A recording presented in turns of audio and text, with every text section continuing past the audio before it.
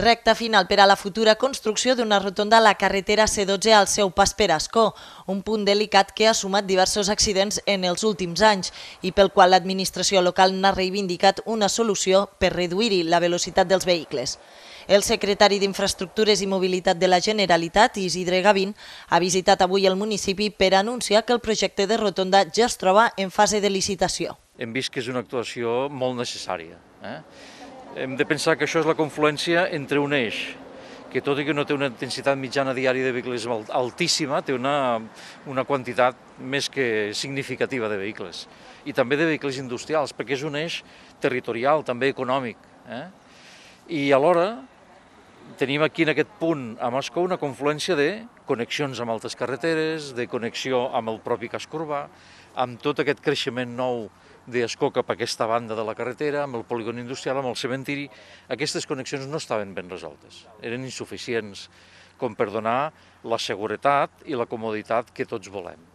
El projecte amb un pressupost d'1.574.000 euros es farà realitat gràcies al cofinançament entre l'Ajuntament d'Ascó, que aportarà el 61% de l'import, i el Departament de Territori i Sostenibilitat, que assumirà el restant 49%. Doncs és una aposta molt forta de, de l'Ajuntament que, que fem per a aquesta rotonda, perquè creiem que, que la seguretat és el més important i necessitem aquesta regulació també de, del trànsit a, aquí al pas de la C12 per Ascó.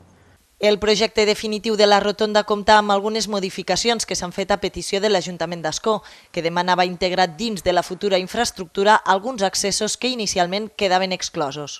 Unes deficiències creiem que se tenien que modificar, com era la sortida eh, cap a la carretera des de Joan 23, que quedava inicialment en, una, en un cul de sac. Per tant, creiem que també pels plans de prevenció, de, de, bueno, els plans d'evacuació, eh, nuclears és important que esta, esta via que estigui connectada, no? Joan 23 cap a la carretera direcció Mora, eh, i també se feia la modificació de que la rotonda donés accés al davant mateix de, del cementiri. No?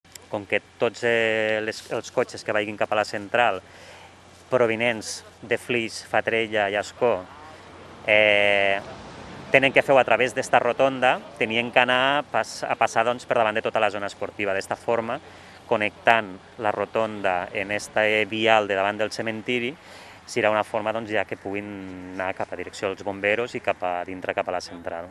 Està previst que les obres puguin començar a mitjans d'estiu, amb un termini de 5 mesos de duració dels treballs.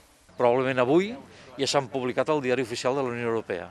Per tant, estem ja a la fase final, la fase ja prèvia a l'execució. És a dir, nosaltres pensem que en uns quants mesos, que és el procés que tarda una licitació normal, les empreses hauran pogut presentar les seves ofertes i podrem disposar al voltant de l'estiu ja amb una empresa adjudicatària amb la voluntat de poder començar les obres. Dels poc més de 960.000 euros que aportarà l'Ajuntament d'Ascó per a la construcció de la rotonda, 165.000 els financia l'Associació Nuclear d'Ascó a través d'un conveni d'ANAP amb el municipi riberenc.